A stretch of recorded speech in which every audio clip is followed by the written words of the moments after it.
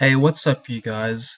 I just wanted to make this quick video to show you all how to make in-text references the, one of the easiest ways using a Microsoft uh, Word um, function. Okay, so I'm just going to bring up an old or an assignment that I've just been recently working on. Um, let's put that to that side. And what I'm going to do is I'm going to show you guys how to put an in-text reference. So what you want to do is go to Google Scholar or any other search engine and type in whatever you want. So for example, viruses and water contamination, just for a, uh, microbiology course. And we're going to go, say, we'll just select the first one. And once, once that loads, what you want to do is instead of having to write this out manually, what you do is you go references in Word. So if you're at home, up top here, you want to go to references, insert citation, add new source right here. And then if it's a journal article, you select journal article. If it's a book, you select a book, whatever. The list, the, the options are in this list.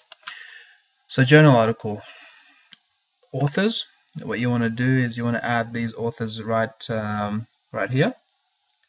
Well in this case there's one but if there was more um, you just add them all. So you click on edit.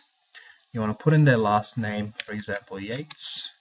First name is Marilyn. And initial middle name uh, V. Then you want to go add. Say for example if there's another um, author as well, say White, uh, first name Walter, and middle name M.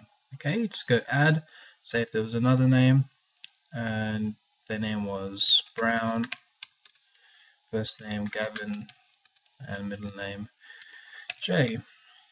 Add, and that's that's that's your author's added. Then you want to go OK see how it's all listed in the order that you put it in. And it's listed correctly as well. Then you want to add the title. Usually what I do is I can just go straight in here and copy that. Copy that straight into here. And then the journal name National Groundwater Association for example. National Groundwater Association. And then the year is 1985. 1985 pages 586 to 591. Okay, then you want to go OK. But before you do that, when you click show all bibliography fields, it brings up you know the, the, the red asterisks indicate the essential fields that you must include for this reference but you can also add the publisher the volume or the issue as some professors or teachers uh, might be a bit pedantic and, and want you to have that. But um, again this is usually enough. You want to click OK and right here right here is our reference. Okay you can go in and edit that if you like but let's added the authors the, light, the last names of each author Yates White and Brown 1985 because it is the initial one if I was to insert that reference again um, it'll be a different story. Say if you if I wanted to add it here what you want to do is um, instead of having to retype that same citation you just go to oops not this one. Insert citation and then you'll have a list of your um, of your uh, uh, citations. Then you just want to click on this list. Usually there'll be more than this and you just click it and it goes and pops in right there. That's how you do it. And then at the end what you want to do for example if I wanted my bibliography here you just go bibliography and then either references like references or works cited whatever you want to click that in and